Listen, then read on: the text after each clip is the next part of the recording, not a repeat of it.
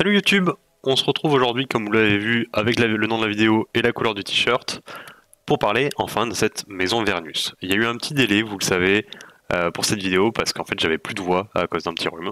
Donc c'est enfin passé, euh, désolé si ça s'entend encore un petit peu mais normalement ça devrait être bien passé.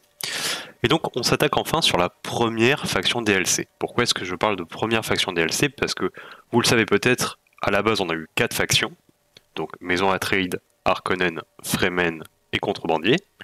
Puis euh, le studio nous a rajouté la maison Ekaz et la maison Corino de manière gratuite, c'est-à-dire que ça a été rajouté avec le jeu et actuellement si vous achetez le jeu, vous avez donc ces six factions. Et donc la septième faction n'est autre que la maison Vernus, mais c'est une maison DLC, c'est-à-dire qu'il va vous falloir payer un supplément si vous voulez l'obtenir. Je vais répondre très rapidement à la question euh, est-ce que ça vaut le coup de l'acheter? Parce que forcément vous allez peut-être pas regarder un guide de à peu près une heure euh, bah, si la faction vous intéresse pas. Et en fait, je vais faire une règle très simple pour ce DLC, c'est-à-dire que si vous n'avez jamais touché au jeu et que vous comptez l'acheter, bah achetez juste le jeu, je vous conseille. Au contraire, si vous avez déjà touché au jeu, que vous appréciez les mécaniques, que vous comprenez le gameplay, ruez-vous dessus. Pourquoi est-ce que je dis ça en fait? Parce que c'est probablement, encore une fois, la faction la plus complexe qui nous ont été sortie. Actuellement, le, studio, quand il sort des factions, on a eu les quatre factions de base qui étaient relativement simples dans l'ensemble, mis à part les Fremen qui étaient un peu particuliers. Et en fait, à chaque sortie de nouvelle faction, ils complexifient les choses. Ça ne veut pas dire que c'est forcément plus fort, et c'est ça qui est intéressant, c'est pas un effet qu'on va appeler du power creep, c'est-à-dire que chaque faction n'est pas meilleure. Je trouve même que, pour être honnête, la maison Vernus est une maison moyenne en termes de puissance euh, par rapport aux autres factions, mais elle est très intéressante à jouer parce qu'elle est très complexe mentalement à appréhender. On va en reparler évidemment avec notamment le système du réseau neuronal. Donc voilà, ne l'achetez pas si vous commencez tout juste le jeu parce que ça va être une maison qui va être très complexe. Commencez à prendre en main les quatre premières maisons, puis monter sur les différentes maisons. Voyez ce qui vous plaît évidemment. Et peut-être à la fin que vous passerez sur la maison Vernus, mais c'est pas une priorité. Et pour les joueurs donc qui sont plus intéressés par cette maison, euh, potentiellement plus expérimentés, ou juste la maison vous intéresse vraiment et vous avez envie de, de comprendre le gameplay, eh bien il va y avoir ce guide. Donc tout d'abord, discutons de la maison Vernus. C'est une maison qui est très tournée, donc comme vous le voyez un peu sur cette image, sur la robotique. Euh, ça va jouer énormément avec les drones, c'est la faction qui utilise le plus de drones du jeu. Et donc évidemment le gameplay va être un petit peu différent des autres factions. Mais c'est pas tout. Vous allez voir qu'il y a plein de choses à comprendre sur cette faction. Donc tout d'abord on va parler un petit peu des différents pouvoirs que vous avez, et donc des pouvoirs que vous avez dès le début de la partie on voit qu'on peut exploiter les gisements d'épices, pas forcément que dans notre faction, mais sur les terrains neutres. Alors ça, je vous le remontrerai quand on sera dans la partie. Mais en fait, ce qu'il faut comprendre, c'est qu'un peu comme les Fremen, on peut faire nos unités pour aller récolter de l'épice. C'est pas des moissonneuses, on verra que c'est des drones récolteurs. Et donc on peut aller les appliquer dans des terrains neutres pour récolter quand même. Donc en fait, on n'a pas l'obligation de prendre les zones à épices pour pouvoir les récolter, on a juste euh, l'obligation de les garder neutres. C'est-à-dire que si un autre ennemi vient prendre la zone, on ne peut plus récolter dans cette zone. Même si on avait déjà un drone qui était placé dedans. Alors, euh, deuxième point assez important. Alors, c'est pas forcément pour vous de le savoir, mais c'est aussi pour les adversaires et comment jouer avec la, maison Vernus. C'est-à-dire que si vous êtes en, trêve avec eux, c'est comme si vous possédiez toutes les recherches que vous n'avez pas encore faites et qu'a réalisé la maison Vernus. C'est-à-dire que euh, si la maison Vernus, imaginons, ils ont fait toutes les recherches de l'arbre jaune, et que vous êtes en trêve avec eux, c'est comme si vous aviez tout ça qui s'appliquait. Donc c'est très intéressant d'être en trêve avec eux. Globalement, on va en reparler très souvent, mais la maison Vernus, c'est donc centré sur les drones et sur les recherches. C'est les deux points clés de cette faction. Donc ils vont avoir généralement beaucoup de connaissances, la, monnaie euh, qui permet de faire les recherches. Euh, je vous rappelle que j'ai fait une vidéo là-dessus, euh, si vous ne savez pas trop à quoi correspond la, connaissance, eh bien justement, j'ai fait une vidéo dédiée là-dessus qui a pour but euh, d'expliquer cette, euh, monnaie, cette ressource en détail et à préparer justement à l'arrivée de cette vidéo. Donc, si ce n'est pas fait, allez la voir. Enfin, on peut, on a notre base qui est divisée en plusieurs districts. Normalement, dans une base classique, et évidemment je vous le remontrerai en jeu, ça sera plus clair. Dans une base classique, vous avez des séries d'emplacements, par exemple des emplacements de 1, des emplacements de 2 et des emplacements de 3. Ici, en fait, on a des emplacements de 3 partout, mais on peut mixer un petit peu les, les différents types de bâtiments. Par exemple, vous pouvez faire un bleu, un rouge, un jaune. Si vous faites ça dans un emplacement de 3 dans une faction classique, vous n'avez aucun bonus. Et eh bien ici, vous aurez le bonus jaune, 1, bleu, 1, rouge, 1. Et donc en fait, il faut comprendre que vos bâtiments, peu importe l'ordre où vous les mettez, vous aurez forcément des bonus. Et généralement, on a envie de mixer dans cette faction parce que le bonus 1, c'est un bonus qui réduit le temps de recherche. Et comme je vous l'ai dit, on est une, faction qui est énormément basée sur la recherche et les connaissances. Donc si on réduit le temps de recherche bah, de un peu tout, forcément, nous, on y trouve un intérêt. Alors, chose extrêmement importante et qui est peut-être la plus importante qu'on va voir dans cette section, c'est les nœuds neuronaux. Le, alors, je vais dire nœuds neuronaux, réseau neuronal, c'est la même chose en gros. Vous le verrez en jeu évidemment, mais en fait, il faut comprendre qu'on va devoir relier les villages entre eux, entre notre base et. Enfin, à partir de notre base, on va essayer de relier tous les villages entre eux. Le problème, c'est qu'on ne peut pas relier deux villages. Si, un, alors, ça va être le moment un peu complexe, mais si on a un village qu'on capture qui est relié à deux autres villages qui sont déjà reliés au réseau neuronal, on ne peut plus le relier. Il faut qu'il ne soit relié qu'à une seule instance du réseau neuronal pour être connecté. Donc en gros, imaginez une espèce de fil. Il faut jamais que on ait deux embranchements, ou qu'on soit connecté deux fois au fil. Donc évidemment, ça sera beaucoup plus visuel une fois sur le terrain. Quand on arrive à 5000 d'hégémonie, on commence à avoir les premières mécaniques liées aux recherches. C'est-à-dire qu'on va pouvoir faire un dépôt de brevet. Dépôt de brevet, en fait, vous allez payer 600 Solari sur une recherche que vous avez déjà débloquée. Et en gros, pour toutes les autres personnes dans la partie, s'ils veulent faire cette recherche, ils vont devoir vous payer 500. Donc là, on fait un calcul très rapide et on se dit que s'il n'y a qu'une personne qui n'a pas fait cette recherche, ça ne sert à rien. Par contre, à partir de deux personnes, ça veut dire qu'on va gagner de l'argent en faisant des recherches. Et en fait, il ne faut pas forcément se, dire que ce point-là va vous rapporter de l'argent, mais plus il va ralentir vos adversaires. C'est-à-dire qu'avant de faire la moindre recherche, si vous l'avez déjà faite, ils vont devoir payer. Et donc, soit, soit ils ont euh, cet argent à disposition et ils vont payer, mais c'est-à-dire que c'est de l'argent qui ne va pas ailleurs, soit ils n'ont pas encore cet argent disponible, et à ce moment-là, ils vont devoir attendre un peu avant de lancer la recherche, peut-être lancer une autre recherche entre temps pour pas perdre de temps. Donc ça va un, petit peu les faire dévier. C'est pas un énorme bonus, en fait on s'en rend pas forcément compte quand on joue la faction, mais quand on joue contre, on se rend compte que ça fait très mal. En plus de ça, on va pouvoir faire une recherche sur une recherche dont on n'a pas récupéré les précédents. C'est-à-dire que vous pouvez prendre par exemple les dernières recherches d'un arbre, et même si vous n'avez pas recherché tout ce qui est avant, eh bien vous allez pouvoir faire la recherche. Vous aurez quand même le temps de recherche à appliquer, c'est-à-dire que vous ne l'aurez pas en instantané, mais pour une fois, vous pourrez faire ça. Quand on arrive à 10 000, on va récupérer la dissimulation. Dissimulation qui est à la fois quelque chose de très fort et à la fois quelque chose que j'aime pas personnellement. C'est-à-dire qu'en fait, vous allez prendre une recherche que vous avez déjà faite et vous allez la dissimuler. Et en fait, la dissimuler, c'est-à-dire qu'elle n'existe plus pour personne. C'est-à-dire que tout ce qu'elle débloque, par exemple pour vos adversaires, vos adversaires ne l'ont plus. Par contre, ça marche aussi sur vous. C'est comme si vous n'avez plus cette recherche. En gros, vous la supprimez du jeu. Vous ne pouvez le faire. Euh, j'ai un doute. Je crois que vous pouvez le faire plusieurs fois. C'est juste que j'aime pas ce gameplay là parce que certes, ça affaiblit la faction adverse, mais ça vous prive euh, d'éléments qui auraient été intéressants. À la limite, si on avait pu euh, dissimuler un certain temps, puis réactiver, là j'aurais trouvé la mécanique un peu plus intéressante. Là, pour le coup, je trouve que c'est. Euh, en fait, vous tirez une balle dans le pied, mais tout le monde. C'est-à-dire autant chez vous que chez l'adversaire. Du coup, c'est une mécanique qui est forte, il faut pas se mentir, hein, parce que par exemple, vous pouvez complètement retirer des unités d'élite à toutes les factions du jeu. C'est-à-dire que vous avez un atrite, bam, il a plus de protecteur. Ça change complètement les fights. Ou au contraire, vous pouvez lui retirer euh, le fait d'avoir plus d'équipage sur, sur ses moissonneuses. Vous pouvez aller chercher des recherches un peu clés chez chaque faction, si vous savez où elles sont. Et en fait, donc plus vous avez vous-même une connaissance du jeu, plus vous allez pouvoir profiter de ce talent.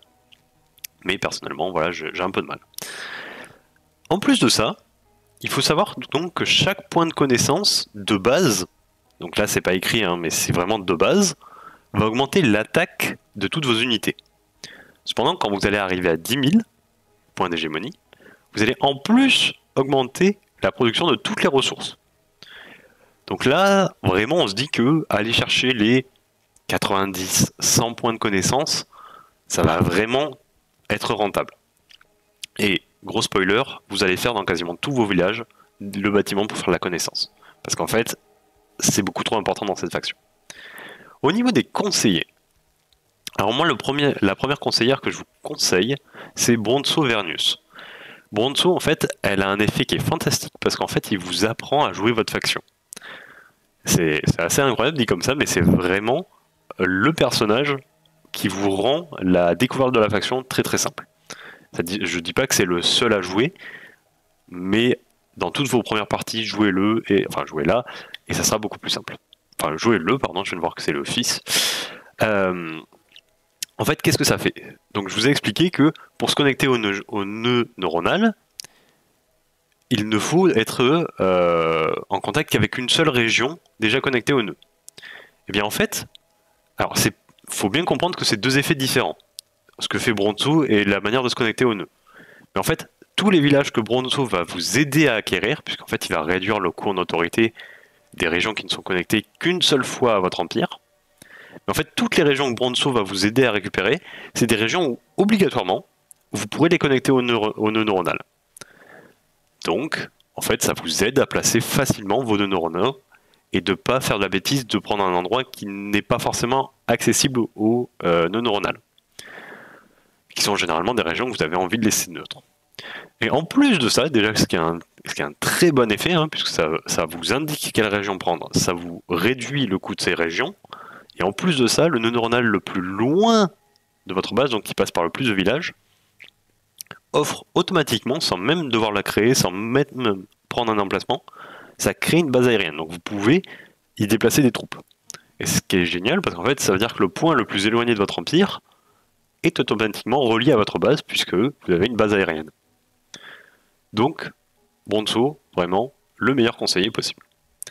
Dans les conseillers donc décrits comme faciles par le jeu, il y a Kamar. Kamar, en fait, l'intérêt, ça va être que quand vous allez faire votre, votre connaissance naturellement, eh bien en fait vous allez augmenter votre influence maximum. C'est intéressant puisqu'en fait le reste de ces bonus va se cumuler là-dessus et vous allez gagner de l'influence quand vous allez entrer en conflit et vous allez gagner de la réputation puisqu'en fait la maison Vernus c'est une maison, on le verra, qui a un peu de mal avec la réputation de manière générale. Et donc vous allez gagner de la réputation quand quelqu'un va rentrer en conflit avec vous.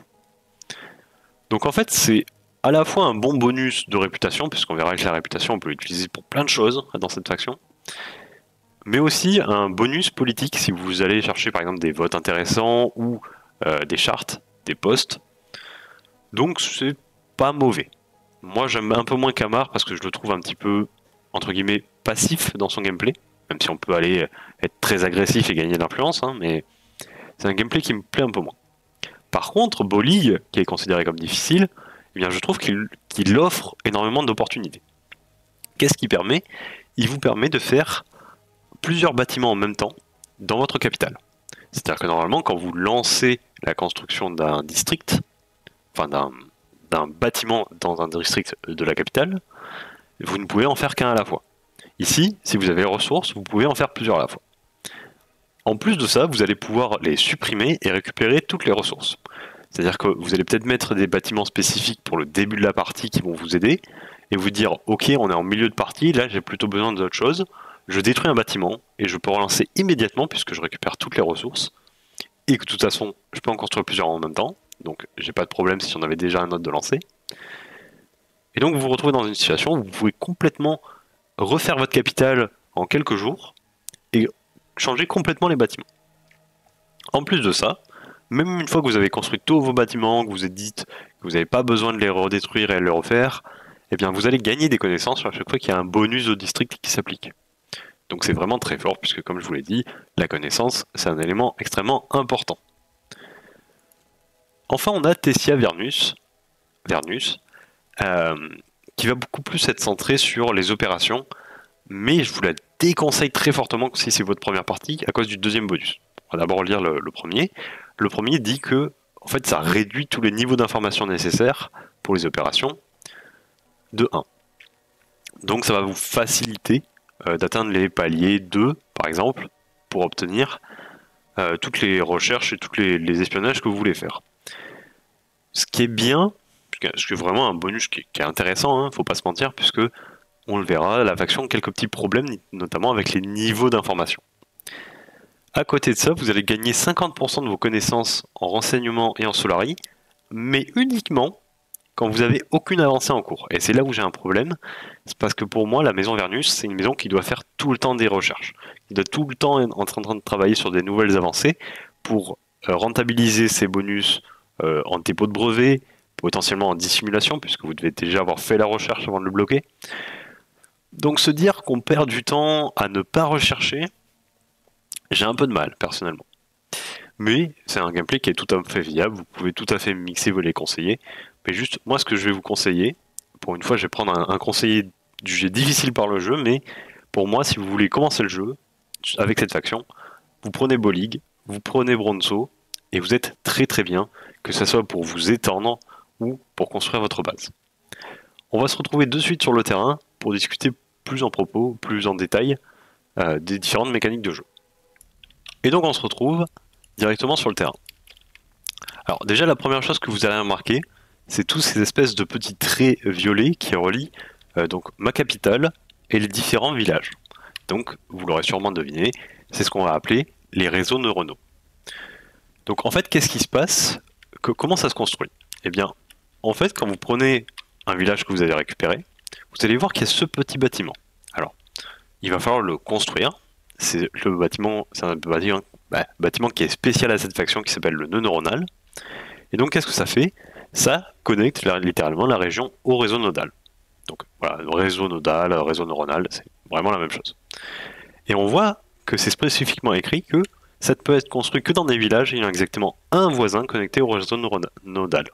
Alors je vais dire neuronal jusqu'à la fin parce que j'ai trop du mal, mais c'est nodal à la base.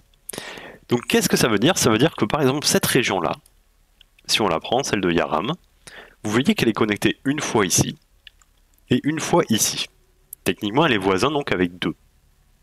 Ici, ici, elle est voisin, techniquement ici aussi, mais comme ce village n'est pas, euh, pas euh, relié au réseau nodal, ça ne compte pas.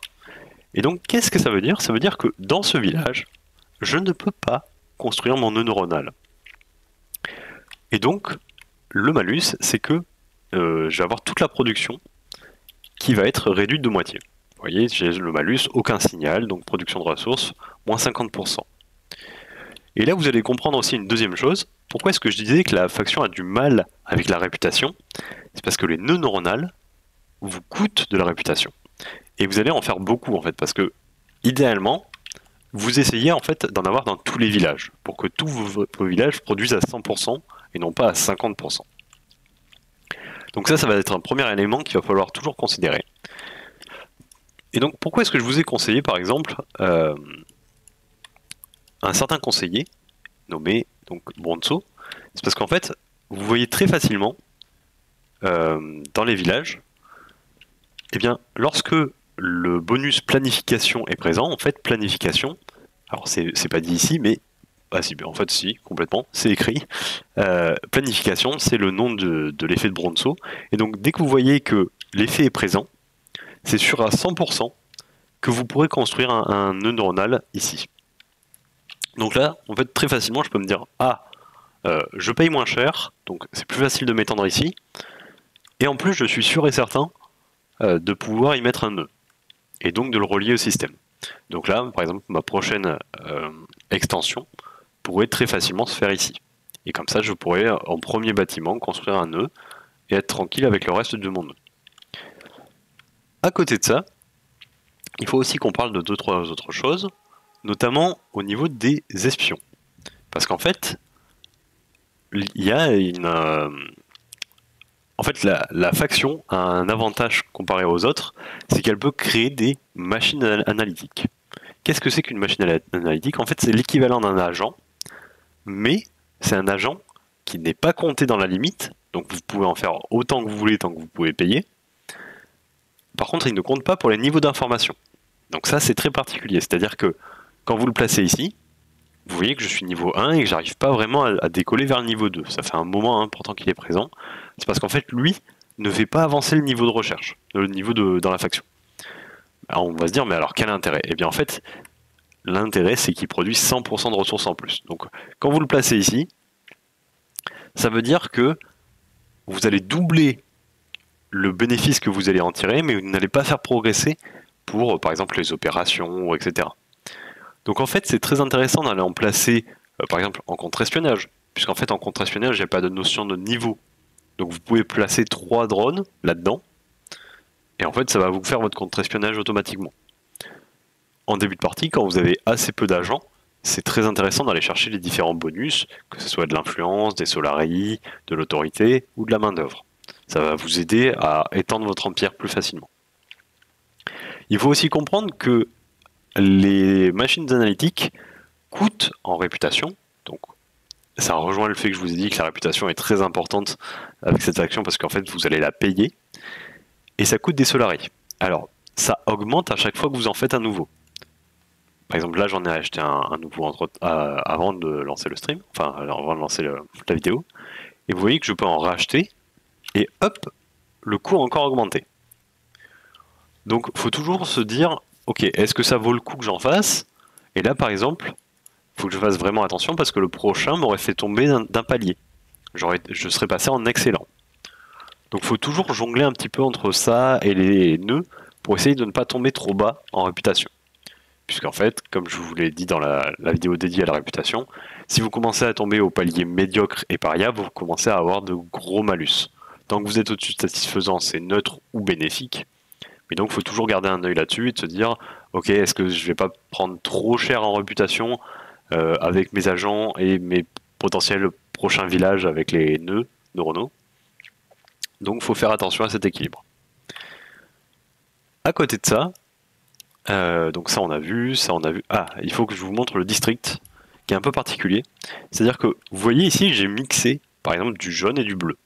Dans une autre faction, ça n'aurait pas proc les bonus.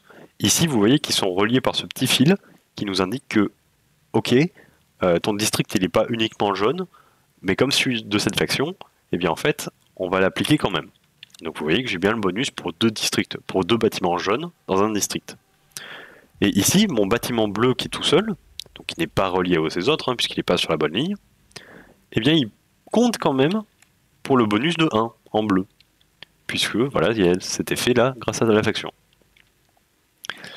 Alors à côté de ça, ah oui, euh, les gisements d'épices du coup, vous voyez que là je me suis étendu très loin, c'est une partie qui est très avancée, c'est une partie que j'ai même déjà gagnée à l'hégémonie, donc voilà, là on est plutôt sur la fin de partie, mais vous voyez que il y a un, village qui est relativement proche de ma ville, de départ, que je n'ai pas pris, et pourtant, en fait j'ai un gisement d'épices. Alors là j'y ai pas remis, euh, je suis en train de recréer un drone moissonneur, mais en fait je vais pouvoir le positionner dessus. Et là, si on veut regarder, est-ce que j'en ai un qui traîne? Oui, voilà, parfait. Vous voyez que j'ai bien mon drone moissonneur qui est en train de récupérer dans une zone euh, qui était neutre. Et pour le savoir d'ailleurs, c'était une zone qui a été reprise par les, les Atreides à un moment de la partie. Et en fait, j'ai juste détruit le village, je l'ai libéré. Donc voilà, moi j'étais pas dedans. Et pourtant, j'ai repu minier. Donc ça, c'est vraiment la manière intéressante, c'est-à-dire que j'ai pas eu besoin d'attendre d'être assez haut en autorité pour pouvoir reprendre moi-même le village. J'ai juste fait vous prenez le village, ok, moi je le libère, et je mets mon drone. Chose très intéressante à savoir, les drones moissonneurs sont des drones. Oui, jusque-là ça paraît logique, mais donc ils ont un effet très intéressant qui est, euh, hop, je crois, je sais plus où est-ce qu'on le voit. En fait, les drones ne font pas de bruit quand ils marchent sur le sol, contrairement à une moissonneuse, et donc ils ne provoquent jamais d'attaque de verre.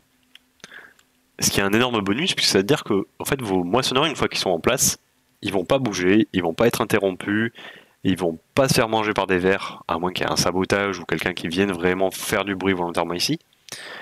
Et donc c'est vraiment intéressant de se dire que bah, notre récolte d'épices va toujours rester au même niveau, parce qu'en fait elle ne sera jamais interrompue.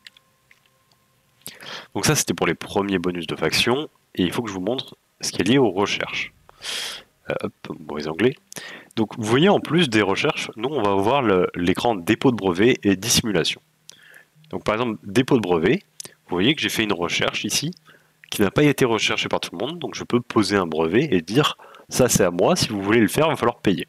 Donc ça va vous demander si vous voulez bien payer et si vous avez évidemment suffisamment, donc là on est bon. Et donc ça va rajouter donc ce petit badge qui va indiquer que le brevet est à nous. Donc vous voyez qu'il y a quelques que j'ai breveté quelques recherches quand même. Et ça veut dire que la prochaine fois qu'une faction veut rechercher euh, cette recherche, cette avancée, eh bien j'aurai une, euh, un icône qui va me dire euh, telle faction vous a payé 500 pour récupérer le droit de, de faire la recherche. Il faut savoir que c'est au début de la recherche que ça va être payé. Donc c'est-à-dire que même le moment où ils vous payent, c'est-à-dire qu'ils n'ont pas encore la recherche.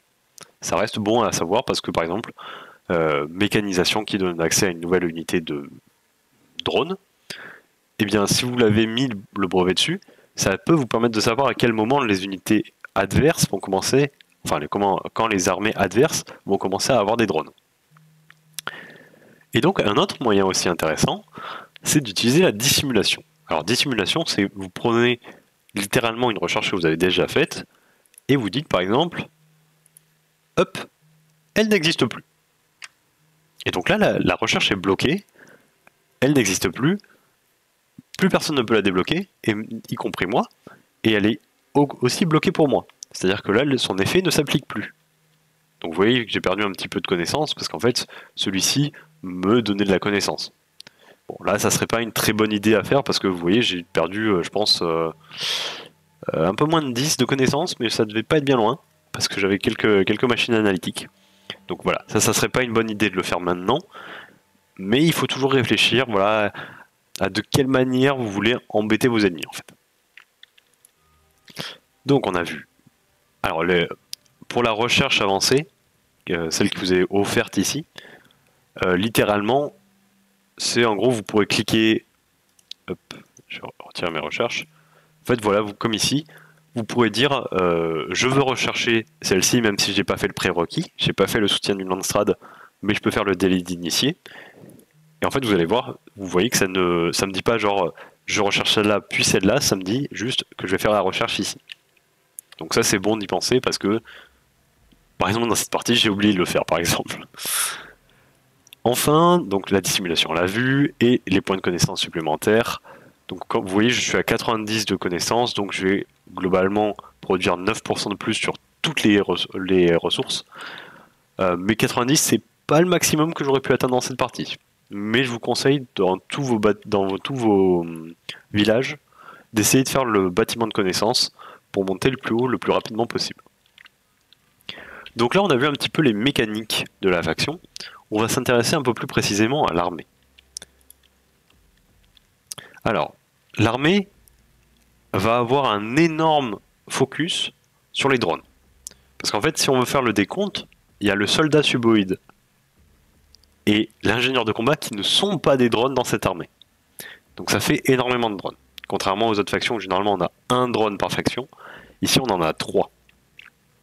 Plus les vaisseaux qui sont euh, un peu hybride dans le sens où ils vont aussi appliquer des effets au drone.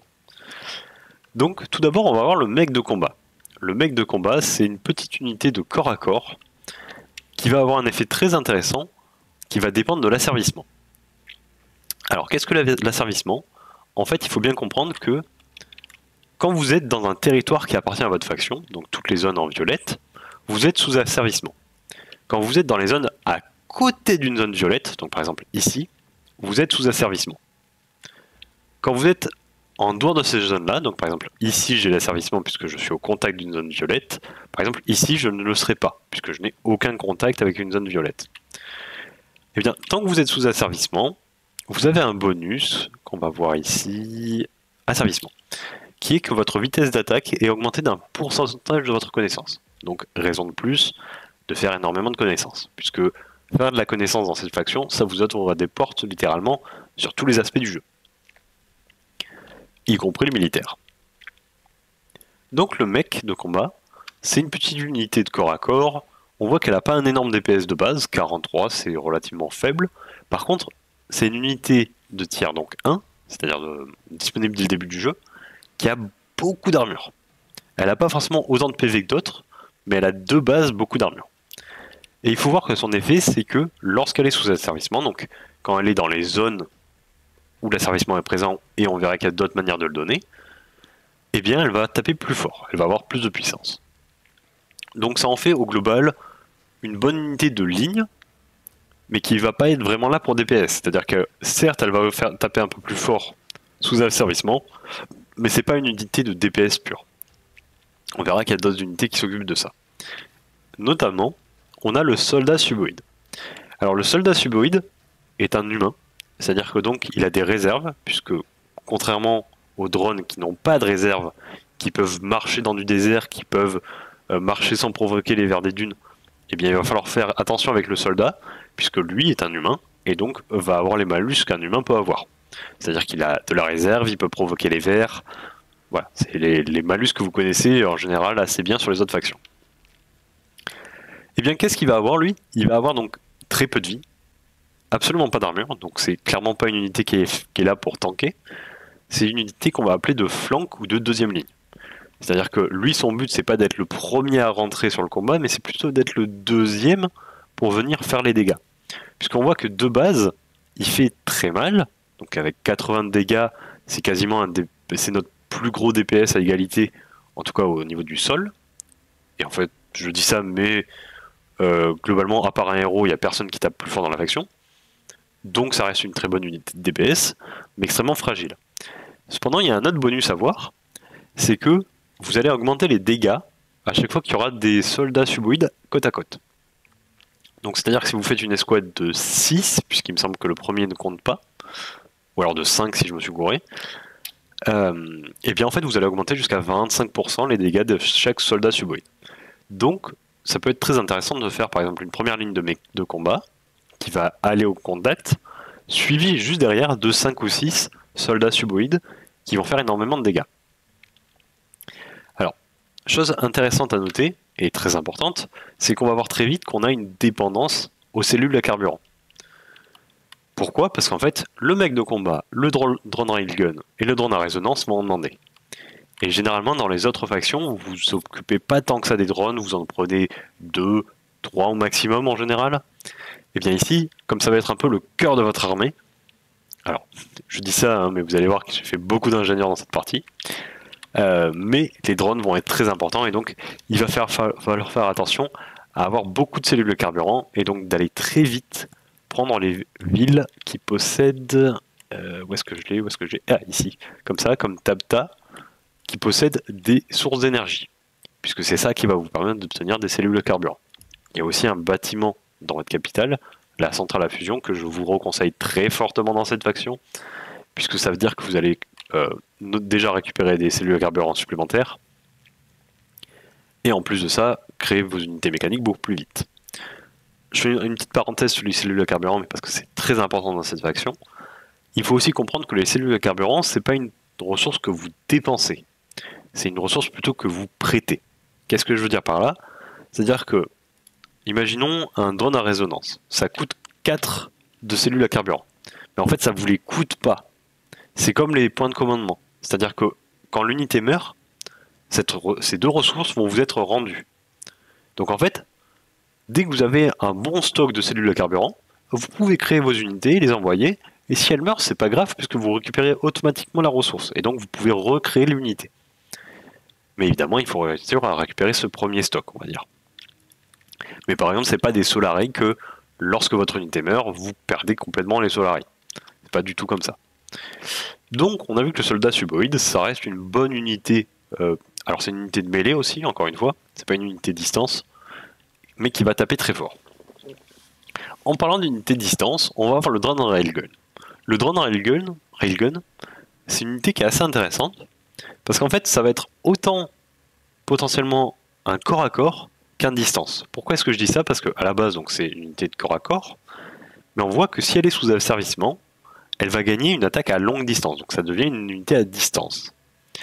Et alors, autant on se dit, ok, ça a de, mauvaises euh, statistiques défensives, assez peu de PV, assez peu d'armure.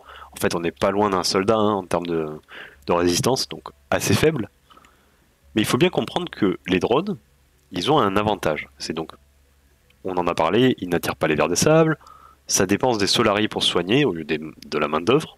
Donc ça c'est à la fois un bonus et à la fois un malus. Mais surtout, ce qui est important à voir ici, c'est qu'on ignore les effets liés au combat rapproché. C'est-à-dire que toutes les unités du jeu quand elles sont à distance et qu'elles tapent à distance, et que vous arrivez au contact avec elles, vous allez leur mettre un debuff qui vont faire qu'elles ne tapent plus qu'à 50% de leur attaque speed de base. On le verra notamment avec l'ingénieur de combat. Mais les drones, ça ne s'applique pas sur eux. C'est-à-dire que s'ils ont une unité à distance ou au corps à corps, ils s'en fichent, ils tapent à la même, euh, à la même vitesse. Donc en fait, le drone railgun, on va essayer de lui donner de l'asservissement pour qu'il ne soit pas au contact, pour laisser ça plutôt au mec de combat. Et lui, il va être là pour faire des dégâts, puisqu'en fait, il va ignorer la moitié de l'armure de l'ennemi, et il va taper à longue distance. On voit que c'est pas le meilleur DPS non plus, il tape entre guillemets que à 58, mais comme il ignore la moitié des dégâts, ça va être très bon pour taper sur des cibles fortement armurées. Donc on peut penser au protecteur euh, Atreide, euh, si, Atreide. Euh, donc voilà, ce genre d'unité très tanky, eh bien on va dire au Raigun, tu t'en occupes, puisqu'en fait tu t'en fiches de la moitié de son armure, et donc tu vas être une unité très bien adaptée, puisque de toute façon tu vas rester très loin. À côté, on va avoir le drone, le drone à résonance. Donc quand on regarde ses stats, on se dit, ouais, ça tank pas si mal, c'est pas, pas bien loin d'un mec de combat en termes de résistance. On voit que ça a 350 PV, ça plutôt, c'est plutôt pas mal en armure, 4 d'armure c'est très bien. On voit que ça tape de manière assez faible. Vraiment, on n'est pas loin du mec de combat et on se dit, mais c'est quoi que ça apporte en fait? Eh bien, en fait, ça va apporter énormément de dégâts. Pourquoi? Parce qu'en fait, tous les drones à moyenne distance de ce drone-là vont gagner électrostatique. Électrostatique, c'est quoi? C'est que vous infligez 100 points de vie à toutes les unités non mécaniques aux alentours de ce drone. Donc en fait, euh, si j'en ai une qui traîne, bingo. Vous voyez, le drone à résonance a un espèce de cercle autour de lui. Donc là, il y en a deux, donc c'est pour ça que vous voyez deux cercles. Et en fait, dans ce cercle, tous les deux autres drones vont appliquer, donc par exemple, si je rapproche un, drone Railgun, hop, on va les calmer un petit peu. Si je rapproche le drone Railgun, vous voyez qu'autour du drone Railgun, il y a maintenant un effet électrique. Et eh bien en fait, c'est cet effet électrique. En gros, votre drone à résonance va donner des dégâts aux autres drones. Et donc là, c'est très intéressant de se dire que le drone à résonance, c'est un drone de deuxième ligne. C'est-à-dire qu'il n'est pas fait pour tanker. Un peu comme le drone railgun. Il a certes des, statistiques défensives où on pourrait dire ah il est pas loin du drone de combat, mais en fait il va manquer un petit peu quand même. Donc faut imaginer le drone à résonance qui, qui va être joué en conjonction avec le mec de combat. Vous allez mettre votre mec de combat en première ligne, vous allez mettre le drone à résonance en milieu de ligne, on va dire, en milieu de combat. Et en fait, naturellement, votre drone à résonance va amplifier les dégâts du mec de combat en lui rajoutant l'électrostatique. Et donc, on commence à voir des espèces de combos qui vont commencer à se faire. Et là, on va arriver sur la meilleure unité de la faction, et je pèse mes mots parce qu'il y a vraiment de très bonnes unités, mais celle-ci l'emporte haut la main, c'est l'ingénieur de combat. Déjà, regardons ses stats. 400 points de vie, donc c'est une unité d'élite et ça se voit. 80 de dégâts, c'est très très bien. 2 d'armure, un peu faible, mais comme c'est une unité à distance, bah c'est pas très grave.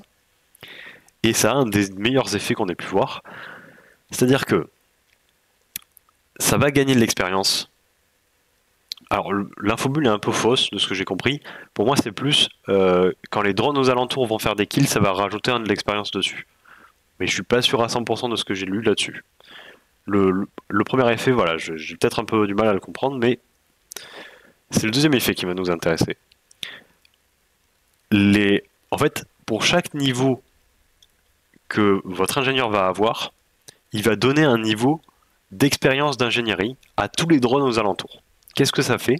Eh bien, chaque niveau d'expérience d'ingénierie va réduire les dégâts subis pris de 5% et va augmenter les dégâts faits de 5%. Donc en fait, à chaque fois que vous prenez un niveau sur votre ingénieur, vous rajoutez 5% de résistance à tous vos drones et 5% de dégâts à tous vos drones. Donc c'est génial. En fait, c'est une unité qui doit survivre le plus longtemps possible pour monter en niveau et donc donner encore plus de niveau d'expérience d'ingénierie à vos drones. Mais en plus de ça, c'est pas fini. L'unité est déjà excellente rien qu'avec ça, mais en plus, vous allez avoir ce bouton là, le poste de réparation, et en fait, il va s'immobiliser, il va arrêter de taper. Donc il faut y penser que ça va réduire votre DPS puisqu'il va arrêter de taper. Mais pendant un combat, l'ingénieur va réparer tous les drones aux alentours. Donc je vais vous montrer ça. On va par exemple attaquer la base de Renega. Et vous allez voir, à partir du moment où on va avoir un drone endommagé, et eh bien en fait je vais pouvoir activer la compétence. Et on voit que l'unité donc se met au sol. Et là il y a une nouvelle zone. Donc c'est pas la zone électrique du drone euh, à résonance, mais bien ce trait là qu'on voit, ce cercle, qui est celui de l'ingénieur. Et en fait dans cette zone, tous les drones vont être légèrement soignés. Donc là, évidemment, on le voit pas parce que le, drone prend beaucoup de dégâts. Mais si je le sors un tout petit peu du combat, eh bien on voit qu'il va commencer à prendre des soins. Bon là, évidemment, il se fait focus par toute l'armée. Mais vous voyez qu'il se régénère. Et en fait, ça s'applique à tout le, tout le monde en permanence. C'est-à-dire que, à part les ingénieurs et les soldats, tout le monde dans l'armée va se faire soigner. Donc quand vous avez une grosse ligne de mecs de combat, eh bien c'est vraiment une bonne idée de se dire que au moins un, euh, ingénieur va être son rôle dans le combat, ça va être d'activer le poste de réparation et de simplement soigner tout le monde pour renforcer le tankiness de l'armée. Donc ça fait déjà une armée qui marche très bien d'elle-même, puisqu'en fait, vous avez l'ingénieur qui renforce un peu tous les drones, vous avez tous les drones qui vont commencer à avoir une espèce de petite synergie entre le mec de combat qui tient la ligne, le gun qui artille de loin, le drone à résonance qui renforce les drones entre eux, le soldat suboïde, c'est un petit peu le l'entre-deux parce que il combatte pas si bien que ça dans l'armée, mais il combatte avec lui-même. Donc en fait, si vous avez plein de soldats entre eux, c'est bien. S'ils commencent à mourir parce qu'ils font focus, c'est pas grave, vous pouvez à ce moment-là dire Ok, si j'ai besoin de tenir ma ligne, je rajoute des mecs de combat. Si j'ai besoin de faire plus mal, bah, drone railgun ou drone à résonance.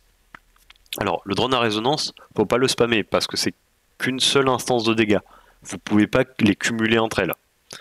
Donc ça, vous pouvez vous dire, j'en envoie deux, comme ça, s'il y en a un des deux qui meurt, c'est pas grave, j'ai toujours le bonus, mais n'en envoyez pas plus. Là, l'armée que j'ai actuellement n'est pas une armée euh, vraiment optimisée. C'est plus une armée pour vous montrer un petit peu les, la puissance que peuvent avoir certaines unités. Et j'avais essayé de comboter un peu les ingénieurs de combat entre eux. C'est pas le meilleur combo, honnêtement. Alors, je, vous voyez que je, suis en train de dire euh, oh les unités de cette faction sont incroyables, ça marche si bien. Eh bien, on va arriver sur euh, une unité qui pour le coup ne marche pas vraiment, euh, qui s'appelle l'esprit. Est-ce que j'en ai construit? Non, je crois pas. On va lancer la construction pendant ce temps-là. Alors, l'esprit, qu'est-ce que c'est? Ça va être le vaisseau léger de la faction. Et qu'est-ce qu'il va avoir?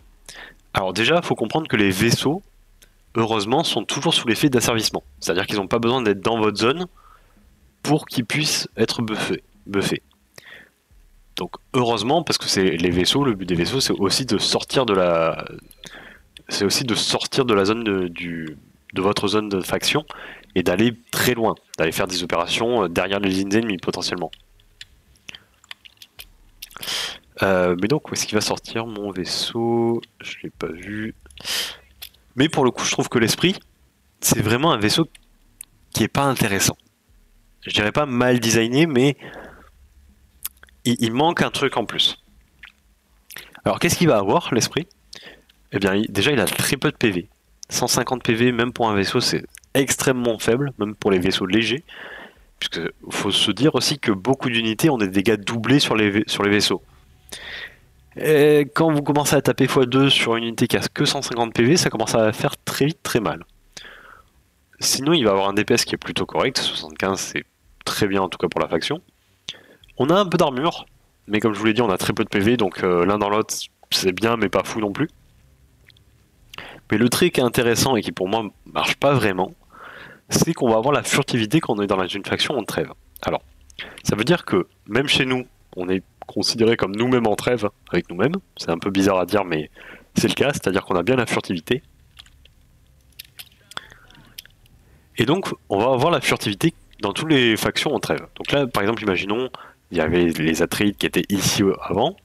Eh bien, si je suis en trêve avec eux, mon vaisseau peut traverser toute leur ligne et aller par exemple se mettre en embuscade juste ici avant la maison Atride, euh, Harkonnen, avant d'attaquer. Mais le problème, c'est que vous allez attaquer avec un vaisseau qui a 150 PV, euh, qui, a, un DPS ok, mais pas fou. donc je trouve ça un peu, un peu léger. Et en plus, s'il se trouve dans des zones un peu lointaines, il va sûrement être tout seul. Donc ça veut dire qu'il va devoir tanker tout lui-même, et à 150 PV, on ne tank pas grand-chose. Le relais pillage, par contre, lui, c'est tout l'inverse. C'est-à-dire qu'il a tout ce qu'on voudrait sur un vaisseau. On a 1200 PV, donc c'est pas le vaisseau le plus tanky, en tout cas c'est pas le vaisseau lourd le plus tanky, mais ça reste tout à fait honorable. On a 33 de DPS, ce qui est plutôt faible, mais ce qui n'est pas ce qu'on va demander à un vaisseau lourd en général. En général, on veut qu'il nous apporte un bonus significatif. On voit qu'il a 6 d'armure, donc c'est bien, ça va permettre de tanker un peu plus facilement les dégâts qu'il pourrait prendre. Parce qu'en fait, le relais de pillage, on a envie qu'il escorte le reste de l'armée. Pourquoi ça? Puisqu'en fait, pour un seul effet, qui est que l'asservissement des unités mécaniques va marcher peu importe où ils sont. En fait, tant qu'ils sont à portée du relais, ils vont être considérés comme sous-asservissement. Donc vous voyez que, le, encore une fois, ça fait une zone de plus. Euh, la faction peut être difficile à lire parce qu'il y a beaucoup de zones à voir. Mais là, vous voyez que sous le vaisseau, le relais de pillage, on voit qu'il y a une zone et en fait, c'est une zone d'asservissement. Ce qui veut dire que Là, actuellement, je suis en train de me battre dans une zone où j'ai l'asservissement, puisque je suis au contact d'une zone de ma faction. Mais par exemple, imaginons je veux attaquer cette ville. Ou encore pire, je veux foncer sur l'Arconen, donc attaquer ces villes à lui. Bah, il faudrait que je prenne euh, la ville qui est ici pour avoir l'asservissement dans ces zones-là. Et en fait, là, j'en ai pas besoin. Là, je peux juste dire à mon vaisseau, tu vas te caler ici. Et en fait, bah, naturellement, il va donner l'asservissement à tout le monde. C'est-à-dire que tout le monde va être au maximum de ses capacités en termes de, DPS, de tanking, enfin de tout, parce qu'ils seront sous asservissement. Donc c'est très intéressant de le faire suivre votre armée principale, même si vous voulez push un peu plus loin, et eh ben c'est pas un problème avec ce vaisseau. Il n'a que très peu d'intérêt d'être laissé seul. Euh, par exemple, ça ne sert à rien de se dire oh je vais l'envoyer gérer, euh, je sais pas, une rébellion ou quoi que ce soit. C'est un vaisseau qui va très mal remplir ce rôle parce qu'en fait, le cœur de la mécanique, c'est d'être avec l'armée pour apporter le buff. Et on pourrait se dire, oui, mais avec d'autres vaisseaux, euh, il va donner asservissement, mais en fait, tous les vaisseaux ont déjà asservissement. Donc à partir de là, à la limite, envoyer des esprits gérer des, petites rébellions, bon, ça peut se faire, même s'il euh, faut qu'il y ait un lui tape dessus. Hein.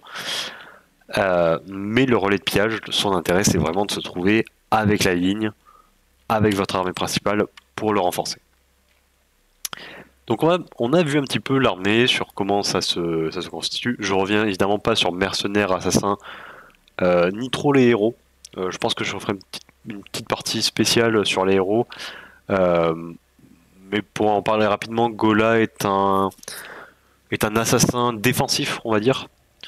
Et globalement, c'est un, héros que vous avez envie de garder dans votre territoire pour faire une exécution sommaire sur la première personne qui rentre mais pas grand chose de plus, à, plus à vous dire. Les deux héros sont pas mauvais, j'ai plutôt souvenir de ce que fait l'autre héros, euh, qui n'est pas Gola, euh, mais je sais que c'était pas mauvais non plus. Mais ça, c'est plus un style de gameplay, ça va pas changer euh, radicalement la manière de jouer. Donc on va passer sur les recherches. Donc au niveau des recherches, je vais évidemment aller que sur les recherches spécifiques à la faction, et je reviendrai donc pas sur les recherches globales. Juste un point à noter, les condensateurs géothermiques avec cette faction où vous devez rusher les cellules à carburant, c'est très important de le prendre. Voilà. Euh, à côté de ça, on va avoir donc dans l'arbre jaune l'ingénierie anthropique. Alors là, on pourrait se dire, mais attends, euh, pourquoi est-ce que c'est un point spécifique alors que ben, en fait c'est juste le même point que d'habitude? Et en fait, il y a une petite nuance, c'est-à-dire que là, les drones moissonneurs, on va les renforcer non pas avec des équipages, donc de la main d'œuvre, donc on va pas prendre dans cette ressource-là. Vous voyez d'ailleurs qu'elle est maxée parce que j'en ai que peu d'utilité. Mais en fait, ça va vous taper dans vos cellules de carburant.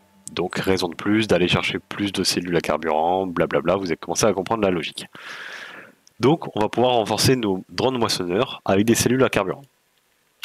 Illumination par l'épice, alors un peu la même chose, c'est-à-dire que vous allez renforcer encore une fois avec des cellules à carburant l'efficacité de vos drones moissonneurs. Donc très intéressant à prendre puisque économiquement ça va booster euh, toutes les ressources que vous allez récupérer. Et en plus de ça, vous allez produire plus d'épices à chaque point de connaissance. Donc là, vous voyez, je suis à 79. En vrai, on peut relativement facilement monter jusqu'à 90-100 en fin de partie. c'est un bonus qui n'est pas à négliger. Euh, donc, dans cet arbre-là, évidemment, allez chercher relativement rapidement l'ingénierie. Euh, l'illumination par l'épice, vous pouvez la prendre un peu plus tard. C'est pas trop grave de la délayer, mais juste sachez que ça va être un énorme bon économique pour vous quand vous allez le, passer. Côté militaire, alors les batteries aqueuses sont pour moi euh, une facilité de gameplay. Qu'est-ce que je veux dire par là? C'est-à-dire que quand vous allez manquer de cellules à carburant, vous allez pouvoir utiliser de l'eau. C'est-à-dire que au lieu d'être uniquement sur une seule ressource pour votre, euh, vos unités militaires, voire économiques, comme on l'a vu ici, puisque vous récupérez euh, des ressources, des euh, cellules carburant ici, et eh bien en fait vous pouvez dire c'est pas grave, j'ai plus de cellules à carburant, je vais prendre dans mon eau. Et donc en fait, vous passez d'une faction qui est très limitée parce que les cellules à carburant c'est dur à obtenir, à une faction qui a presque plus de problèmes puisque vous, tapez, vous pouvez taper à tout moment dans l'eau. Donc pour moi, la recherche prioritaire que vous devriez faire dans votre faction, c'est celle-ci. En plus de ça, ça vous ouvre le deuxième emplacement d'équipement dans l'armurerie. Et on fera un petit tour par l'armurerie juste après euh, pour discuter des améliorations. À côté de ça, on va avoir la collaboration avec la guilde. Alors ça vous offre des points de commandement de manière un peu classique, donc vous allez pouvoir avoir plus d'unités. Mais ce qui est très important à voir, c'est que tous vos agents placés dans les informations sur la guilde spatiale vont vous offrir des ressources, enfin des cellules à carburant, pour être précis. Il me semble, faudra vérifier l'info, mais normalement c'est le bon, que les drones que vous créez en tant qu'agent, donc je vous rappelle, les drones que vous créez en tant que machine analytique comptent là-dedans, puisqu'en fait ce sont bien des agents. Et le texte spécifie bien que les agents assignés donc ça, normalement, ça doit, ça doit comboter. Donc si c'est bien le cas et que ça combote bien, n'hésitez pas à faire très vite des agents que vous envoyez dans la guilde spatiale pour récupérer des cellules à carburant. En plus de ça, vous obtenez le poste de commandement qui est un bâtiment classique dans votre capitale. À côté de ça, usine automatisée est un point très important. Alors c'est pas le prioritaire, hein. je maintiens que batterie aqueuse est vraiment plus important que le reste, mais usine automatisée, c'est un peu votre palier de je suis une bonne armée à je suis une bonne armée et je peux me refaire quand je veux. Puisqu'en fait, bah, ça va vous donner donc 10 points de commandement supplémentaires, mais ça va transformer votre connaissance en vitesse de recrutement et vitesse de régénération. Et donc, il faut bien comprendre qu'à partir de là, quand vous avez des hauts montants de connaissances, vous allez commencer vraiment à toucher un petit peu à tous les domaines et en fait, cette connaissance va améliorer tous ces domaines. Et donc, c'est très intéressant de se dire, ok, j'ai fait rapidement mes, euh, disons, 50 premiers points de connaissance. Hop, je rajoute ça et je peux recruter plus vite. Je peux régénérer plus, vite. Et donc, tout se cumule. Tout se cumule. Dans l'arbre militaire, donc là, on a vu un petit peu toutes les recherches spécifiques. Donc, batterie aqueuse en priorité. Collaboration de la guilde peut être intéressant pour récupérer rapidement des cellules à carburant, mais si on a fait batterie aqueuse, c'est beaucoup moins un problème. Usine automatisée permet de recruter et de régénérer plus vite.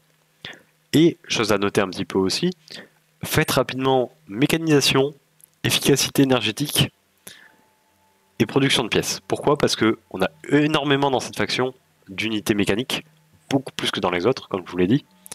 Et donc en fait, là vous allez améliorer quasiment l'intégralité de votre armée, en dehors des ingénieurs et des euh, soldats mais c'est trois points qui vont être très importants à prendre. Donc en fait, de manière un peu générale, avec cette faction, je vous dirais, dans l'ordre matériaux composites, ingénierie anthropique, puis vous allez chercher la batterie aqueuse, vous faites les trois points ici, et là, vous êtes bien, et vous pouvez commencer à taper par exemple dans les autres arbres.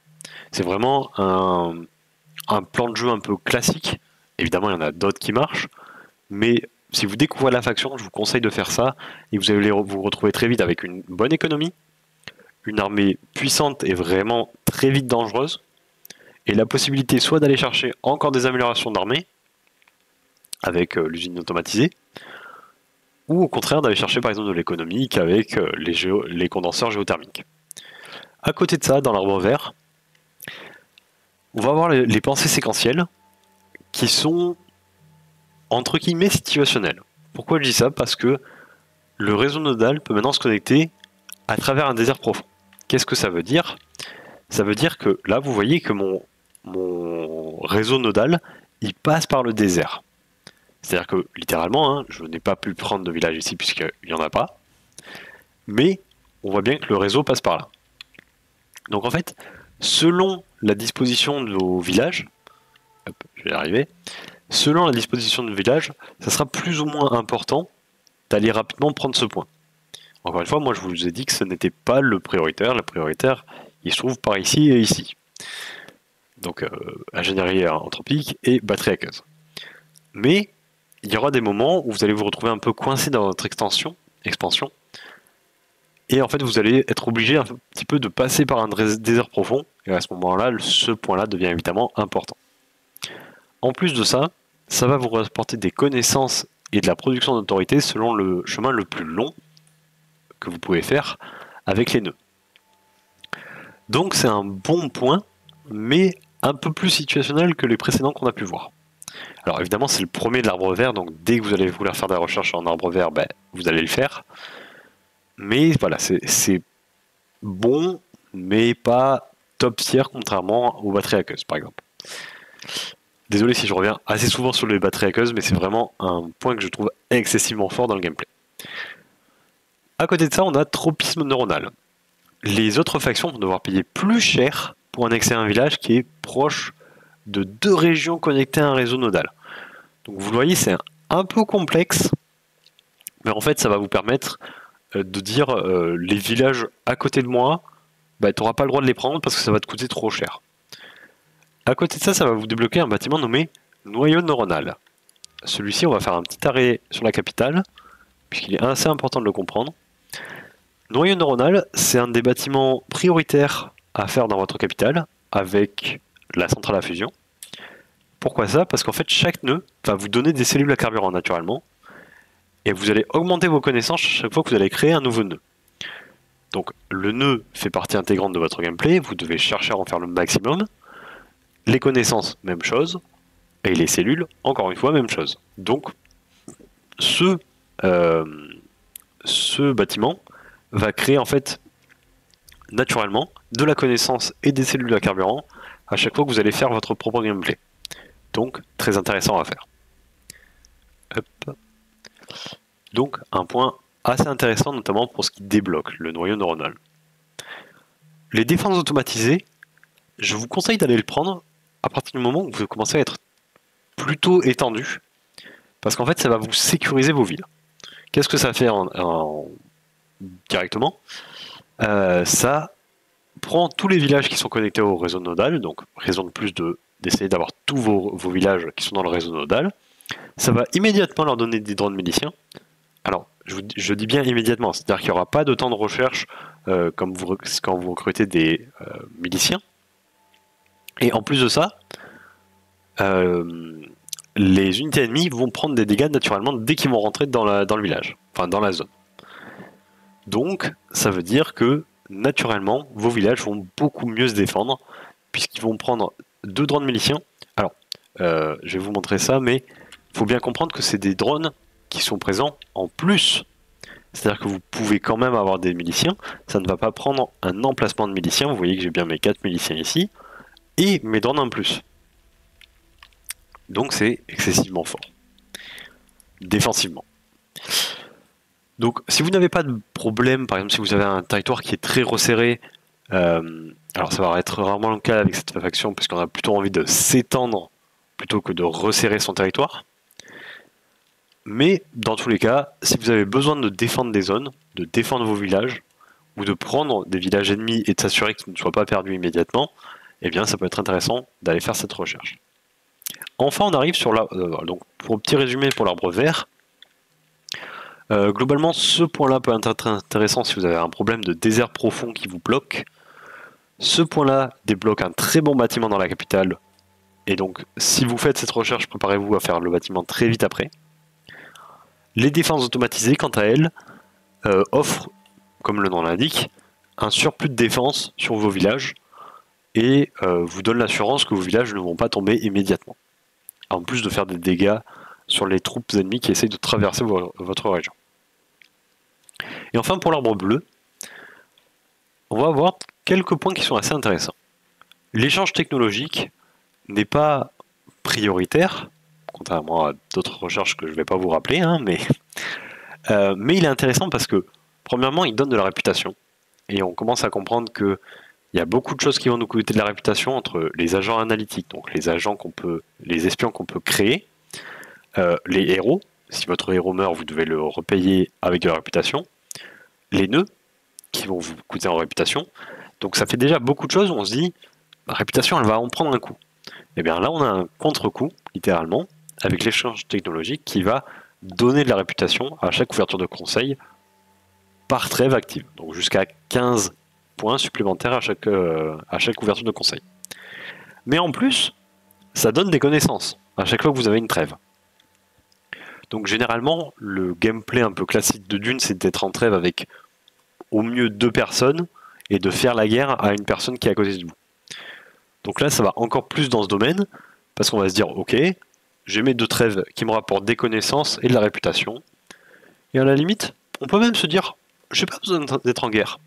Je vais faire mes connaissances plus vite que vous. Je vais avoir la réputation, donc je peux me permettre de faire un peu tout mon gameplay comme j'en ai envie. Et donc, ça vous renforce dans ce sentiment de euh, ma connaissance va permettre de gagner. Et en fait, il faut, bien comprendre que dès qu'il y a un point qui vous donne de la connaissance dans, l'arbre, ça va comboter avec toutes les autres recherches qu'on a pu voir avant. À côté de ça, on va avoir information hiératique. Alors, en fait, les machines analytiques que je vous ai montrées, c'est pas une mécanique que vous avez de base. C'est-à-dire qu'il vous faut cette recherche pour pouvoir le faire. Encore une fois, je vais vous conseiller de le faire relativement rapidement, mais là on, va pouvoir commencer à se dire euh, oui, t'es sympa Noto, mais tu commences à nous dire qu'il y a beaucoup de choses à faire en priorité, euh, on peut pas tout mettre à la même priorité, et c'est vrai. Et donc je maintiens ce que j'ai dit, batterie aqueuse en priorité, l'économie ensuite, et enfin, à ce moment-là, vous pouvez commencer à faire un peu du politique, on va dire.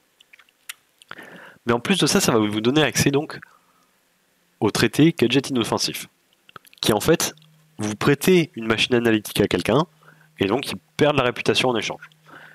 C'est sympathique puisque en soi, le traité est pas si intéressant que ça, puisque ça veut dire que vous donnez quand même un agent à quelqu'un d'autre, ce qui peut être dangereux.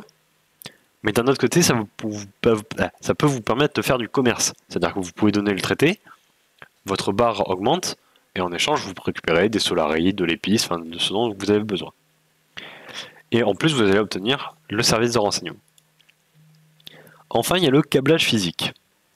Euh, pardon, non, il y a les pensées holistiques, vu qu'on l'a viré, mais il dit quand même. Alors, pensée holistique, je, je n'aurais pas dû le dissimuler, puisque c'est un point qui est très intéressant si vous avez fait les informations hiérétiques avant, puisque vous allez récupérer un de connaissance à chaque fois que vous avez euh, par information ayant au moins une machine analytique. Oui, c'est ça. Donc vous, pouvez gagner de la connaissance en ayant des machines analytiques. Encore une fois, la connaissance, je ne vais pas le rabâcher, mais c'est votre ressource, donc profitez-en. Et là, par contre, il y a un effet qui est vraiment intéressant, c'est-à-dire que si vous avez donné un gadget inoffensif à quelqu'un, immédiatement vous montez d'un niveau.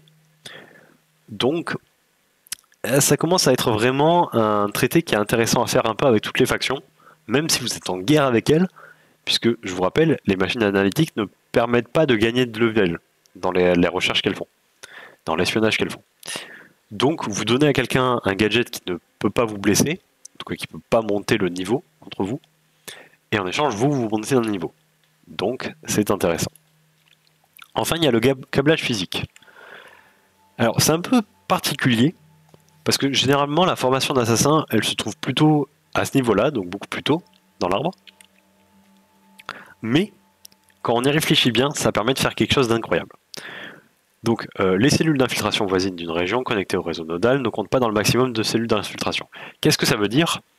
Ça veut dire que si vous faites une infiltration, imaginons que je rajoute un village, euh, je prenne ce village ici, je, le rejoins au nœud. Si je fais des cellules d'infiltration ici ou ici, elles ne sont pas comptées dans la limite. Normalement, je ne peux en avoir que deux, et eh bien là, je peux en faire déjà deux de plus, donc être à 4. Et on peut dire, imaginons, euh, j'en fais deux ici, je prends un autre village ici, donc je peux en faire un de plus ici, donc je me retrouve rapidement en avoir 5. 5, c'est énorme à gérer. Donc il y a vraiment une idée de, si je veux faire un assassinat, tu vas avoir du mal à me rentrer. Et pourquoi c'est intéressant d'avoir la formation d'assassin aussi loin Puisque je vous renvoie vers le guide sur l'assassinat pour comprendre toutes les mécaniques, mais vous allez avoir besoin des assassins et des cellules d'infiltration pour tuer quelqu'un, pour faire un assassinat. Normalement, il se trouve ici. Et on a une mécanique qui s'appelle dissimulation. Si vous avez peur de vous faire assassiner, ben, vous pouvez tout simplement dissimuler ce point-là. C'est-à-dire que, ok, vous, vous pouvez plus créer de machines analytiques, mais vous pouvez créer, les créer à l'avance. Donc, juste avant de faire ça, créez-vous un maximum de machines analytiques et placez-les un peu partout. Vous perdez le traité du gadget inoffensif, mais bon, c'est pas si grave que ça. Vous perdez le service de renseignement à moins de l'avoir déjà construit. Donc en fait, vous pouvez contrebalancer l'effet euh, euh, négatif. Et en fait, vous pouvez dissimuler ce point. Et à ce moment-là, aucune autre faction ne peut créer d'assassin. Et je ne sais pas si vous vous rendez compte, mais ça veut dire que littéralement, vous avez une immunité à l'assassinat quasiment donnée en fait. À partir du moment où vous arrivez à 10 000 et que vous avez la dissimulation. Donc je pense que c'est le meilleur point à placer euh, en termes de, de valeur que ça vous apporte, parce que ça veut dire que vous, vous pouvez toujours créer vos assassins, et vous pouvez donc faire un plan de jeu sur l'assassinat, mais en fait vous êtes protégé, puisque personne d'autre ne peut créer d'assassin, puisque normalement ça se, place à cet endroit-là. Donc il y a quand même des mécaniques à trouver et des choses intéressantes à faire. Donc, euh, en petit résumé, euh, on a pu voir donc les forces et les faiblesses. Donc, dans les forces, on va trouver énormément de drones, ce qui est aussi une faiblesse. Mais donc énormément de drones, donc une armée entre guillemets furtive, dans le sens où elle va pas déclencher les verres, elle va pas nécessiter de réserve. On a une armée qui est relativement tanky avec les mecs de combat, qui peut être bien accompagnée par des ingénieurs qui vont les réparer. Donc en fait vos drones, même s'ils sont pas tous excessivement tanky, eh bien en fait euh, vous allez pouvoir les soigner en plein combat. Et à côté de ça, on a une faction qui est énormément basée sur les connaissances, qui va pouvoir faire les recherches bien avant les autres factions, et qui va pouvoir étendre son réseau nodal, et donc étendre ses possibilités de jeu à partir de là. Dans les désavantages, c'est une faction qui est très complexe à comprendre, puisqu'en fait le réseau nodal, vous voyez que même moi dans ma partie, bah, je ne l'ai pas appliqué partout parce que j'ai pas eu le setup ou j'ai euh, en tout cas pas réussi à l'appliquer partout. Et c'est pas forcément grave. Euh, juste, faut comprendre que, par exemple, un village que vous avez pas relié au nœud, peut-être qu'il va vous servir à préparer des bâtiments qui ne dépendent pas des ressources. C'est-à-dire que, certes, je produis 50% de ressources en moins, mais sur une base aérienne, je m'en fiche. Sur un silo nucléaire qui va juste créer une, euh, une bombe, je m'en fiche. Sur la station de surveillance, vous avez compris la même chose. Euh, donc je peux faire des, bâtiments qui ne produisent pas de ressources et contrebalancer un petit peu cet effet. Et je viens de me rendre compte qu'on a oublié de faire l'armurerie. Et donc on va faire ça juste après. Et donc me revoilà, j'ai fait un petit break. Euh, et donc on va repartir sur l'armurerie. Alors juste euh, dans la, dans la, une fois que la vidéo sera sortie, en dessous dans les commentaires, je vous mettrai une description du deuxième héros qui est disponible pour la faction, puisque là, en fait, je peux pas revenir en arrière, ou alors je reviens très loin dans la partie en arrière, euh, ce qui n'est pas forcément souhaitable pour tout vous montrer. Euh, mais donc, je vous mettrai une petite analyse du héros supplémentaire qu'il y a. Donc, pas Cter qu'on va voir ici, euh, mais donc mon avis dessus, qu'est-ce qu'il apporte, est-ce qu'il est meilleur ou moins bien que Cter, dans quel cas prendre l'un ou l'autre? Bref, je vous ferai une petite description, ça sera dans, la euh, dans les commentaires épinglés. Euh, donc à côté de ça, on va juste parler très rapidement d'Octer, puisqu'en fait il va nous amener sur l'armurerie, vous allez le voir de manière très rapide. Il octroie un emplacement d'équipement dans l'armurerie à une unité. Qu'est-ce que ça veut dire? Ça veut dire que pour un type d'unité, on va pouvoir mettre un bonus supplémentaire. C'est très fort. Puisque, on l'a déjà dit, on a des unités qui sont relativement bonnes et qui font beaucoup de synergie entre elles donc pouvoir leur rajouter un élément dans l'armurerie, c'est évidemment sympathique. À côté de ça, Terre, qu'est-ce qu'il fait? Il peut euh, gagner la furtivité en passant à côté d'un village ou une unité alliée non mécanique. Et sur, notre territoire, sa première attaque est une exécution. Et vous verrez que je n'ai pas précisé de pourcentage, c'est-à-dire que s'il tombe sur une unité qui peut être exécutée, donc attention, il y a quelques unités qui ne peuvent être exécutées. Par exemple, les champions de la maison Ekaz ne peuvent pas être exécutés. Donc ne les tapez pas en premier, ça serait perdre un peu de DPS. Mais euh, en ordre d'exception, c'est-à-dire que lui, quand il voit quelqu'un rentrer sur le territoire, il réfléchit pas deux secondes et il le tue. Alors évidemment, il ne peut pas tuer, il ne peut pas toucher les unités euh, volantes, donc il peut pas détruire un vaisseau lourd non plus, hein, ça serait abusé. Mais il peut tuer un héros. Euh, donc faut faire vraiment attention quand vous faites, quand vous attaquez. quoi que je dis ça, mais peut-être que les héros sont immunisés. Ah, mis à mort impossible. je retire ce que je viens de dire.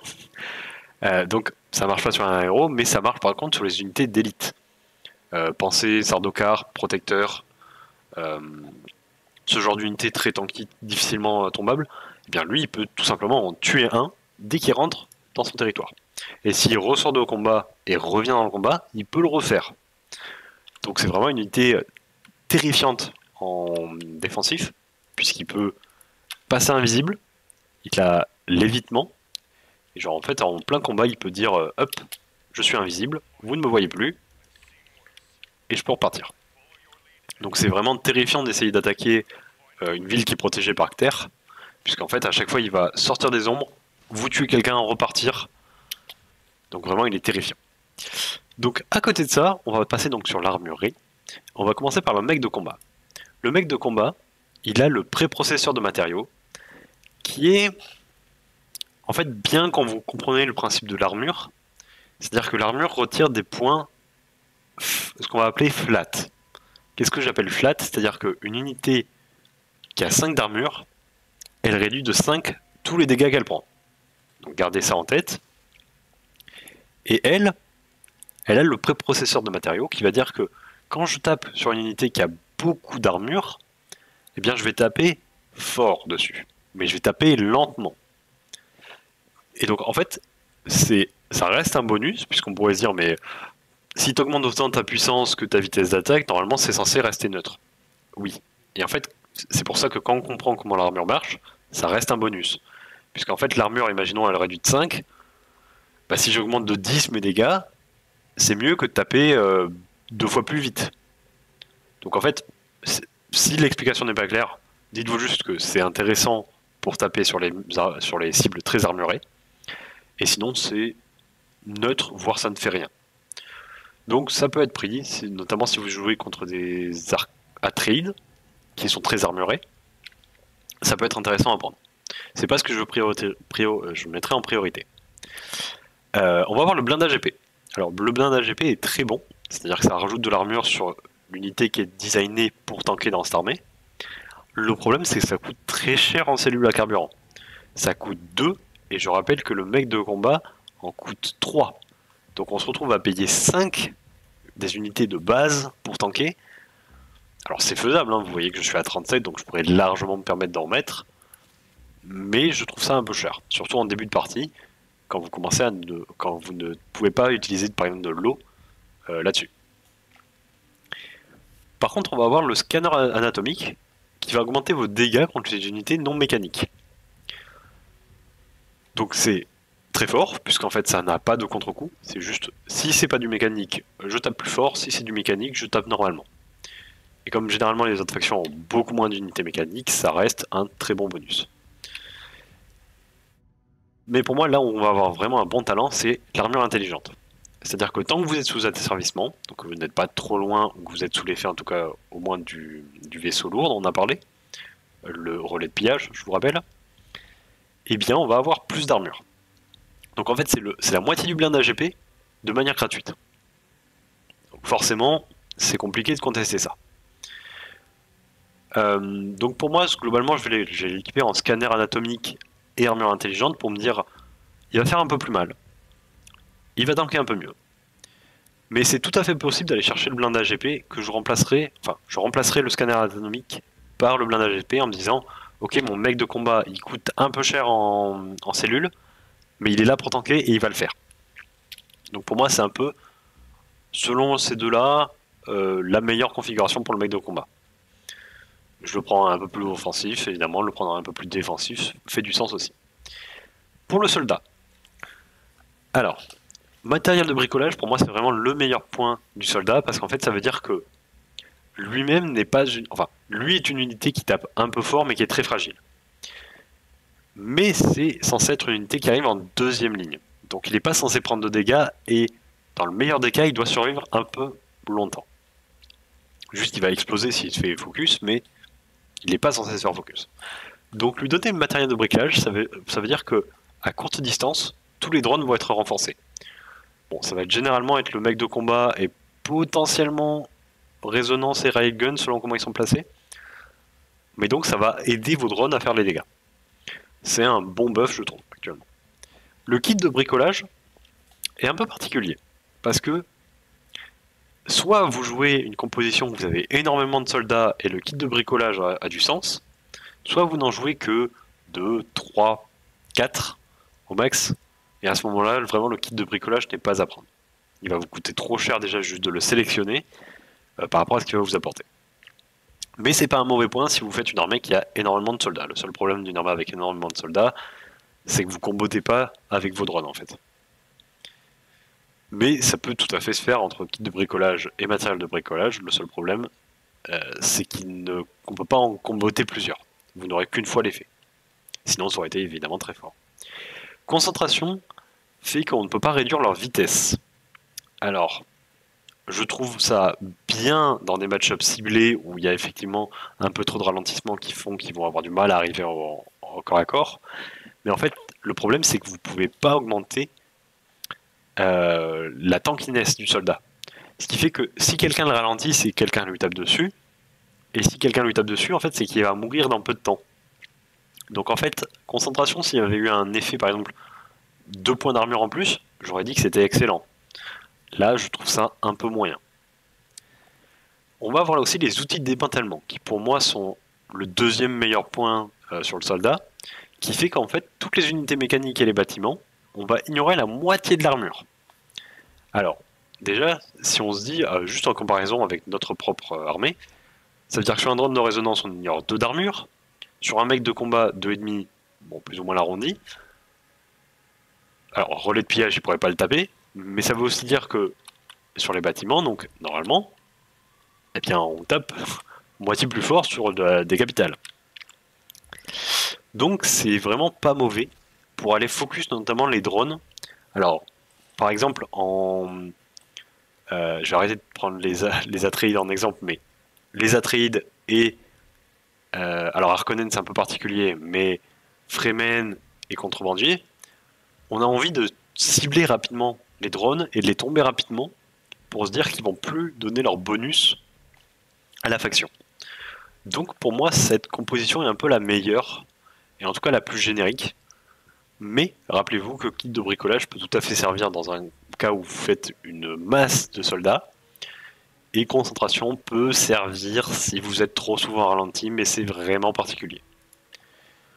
On arrive sur le drone railgun.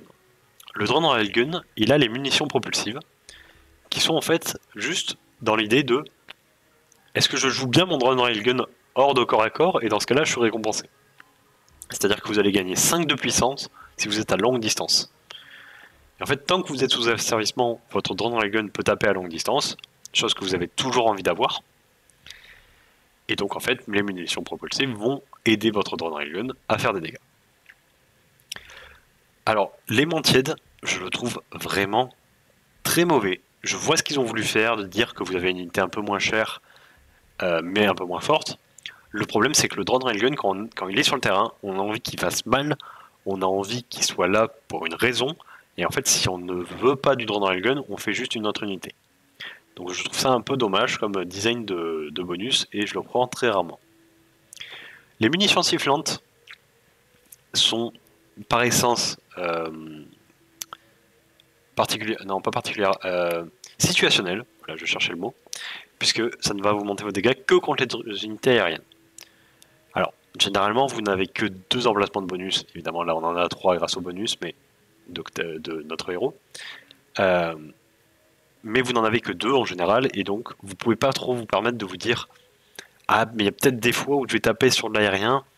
C'est quand même relativement rare d'avoir besoin d'un DPS supplémentaire sur les unités aériennes.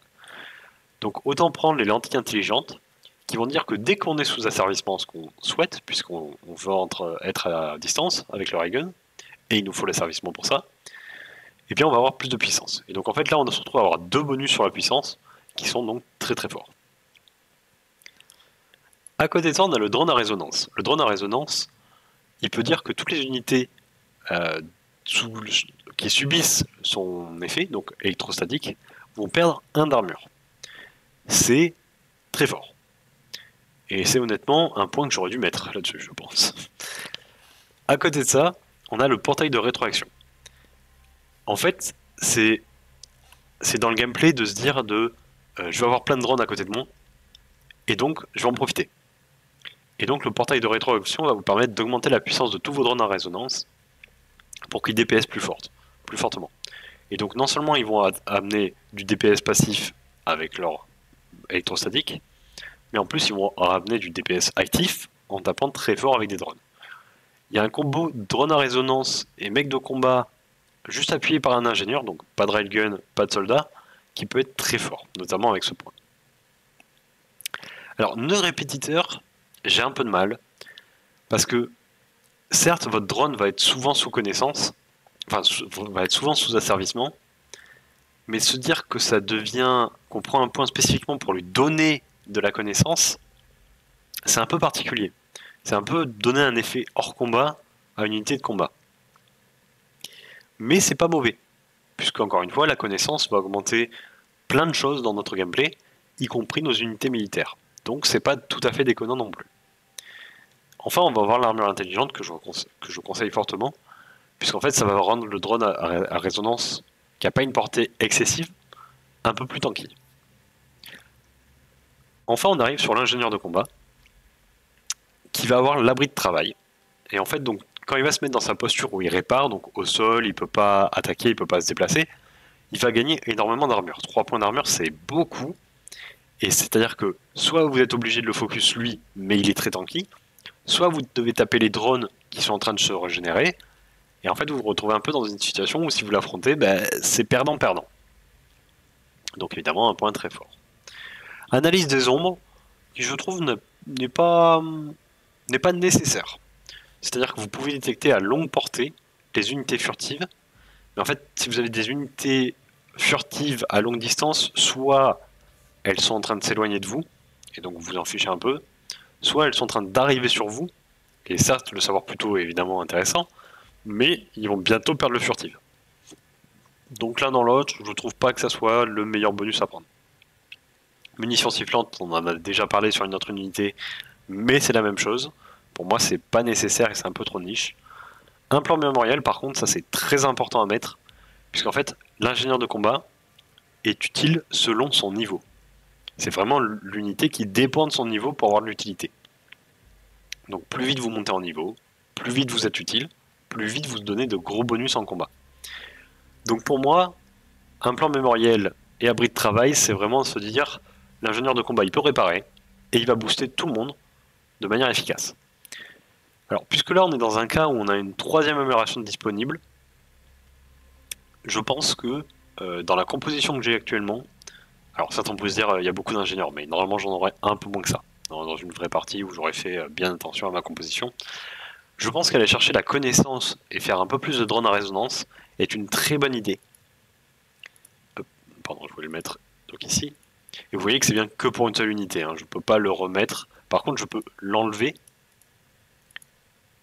euh, supprimer, et le replacer ailleurs plus tard si je veux.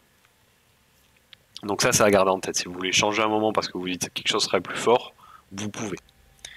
Mais donc ça, c'est vraiment lié au héros. Et donc si vous avez les trois bonus disponibles, bah, je vous conseille de prendre ça sur le drone à résonance, donc puissance, connaissance et armure. Alors il faut évidemment essayer qu'il soit tout le temps sous asservissement pour la connaissance et l'armure, mais ça reste très fort. Le champ disruptif peut complètement rentrer dedans, et je retirerai le portail de rétroaction si, si je rentrais le champ disruptif dedans, mais ça, ça se débat évidemment. Donc globalement, je vous ai fait un gros tour, on va dire, euh, sur la faction. Euh, j'espère que ça aura été clair, j'espère qu'il euh, y aura eu le maximum de mécanique que vous aurez compris à la fin de la vidéo. Évidemment, je reste à votre disposition si vous avez besoin de poser des questions, s'il y a des notions que j'ai mal expliquées ou que vous n'avez pas compris. Et il n'y a pas de souci, hein, vous inquiétez pas, je ne vais pas me vexer si vous me demandez de réexpliquer quelque chose qui est dans la vidéo, parce que vous ne l'avez pas compris. Juste dites-le moi en commentaire, euh, n'hésitez pas, voilà, je, j'essaierai de répondre le plus rapidement possible là-dessus. Je vous remercie si vous avez tenu jusque-là dans la vidéo. Euh, n'hésitez pas à commenter, partager, liker, poster un commentaire, vous abonner si ce n'est pas déjà fait.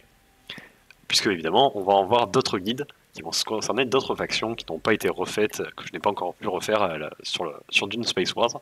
Donc restez abonnés et activez la cloche. Sur ce, je vous dis à plus sur Arrakis, on se revoit bientôt.